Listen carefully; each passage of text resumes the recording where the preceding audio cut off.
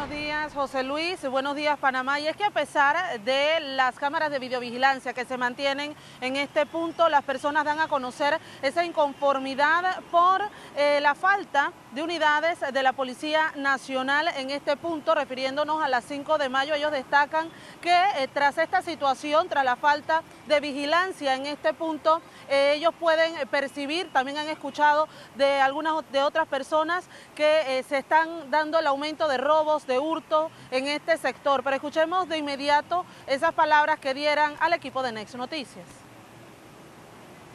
Aquí se dan muchos casos, aquí en la 5 de mayo, en esta área, aquí es una área bastante movida y en la noche total desierto.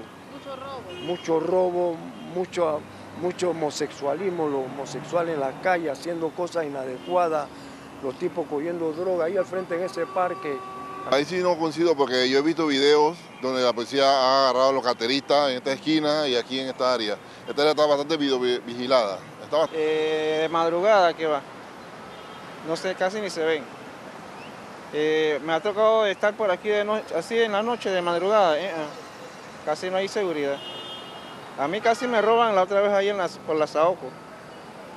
Salieron unos muchachos y con cuchillo en mano venían a robar